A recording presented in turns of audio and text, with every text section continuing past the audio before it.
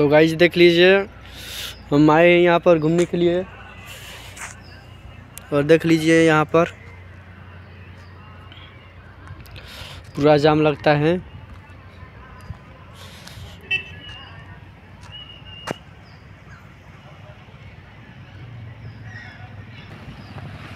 यहाँ पर दो मंकी हैं।